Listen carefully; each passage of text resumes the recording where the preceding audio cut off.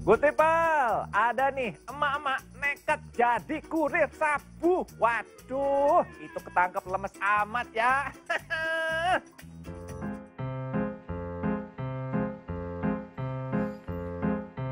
Ngeng, siapa nih yang datang? Udah ditungguin dari tadi tuh. Widih, yang turun si Mbak. Tapi kok lemes amat ya? Ini dia good people, si Mbak ini digiring ke kantor Polres Karawang karena tertangkap tangan jadi kurir sabu. Astaga naga. Ceritanya si Mbak mau nempelin pesanan paket sabu di tiang listrik di Jalan Interchange Karawang Barat. Nah, polisi yang sedang berpatroli menangkap si Mbak karena curiga terhadap gerak-geriknya.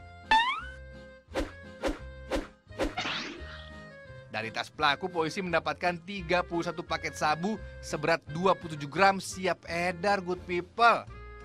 Dari penggeledahan di kontrakan pelaku, polisi juga menemukan puluhan paket sabu siap edar seberat 40 gram beserta timbangan.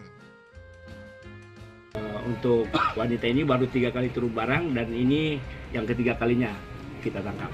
Setiap satu kali transaksi dia mendapat upah berapa dong? Itu dihitungnya 50.000 per titik. Kalau itu S, kalau M-nya ada 100.000 per titik. Sementara sabu tersebut berasal dari bandar yang saat ini masih berada di dalam lapas. Polisi masih terus menyelidiki kasus ini. Iman Budiman melaporkan untuk NET.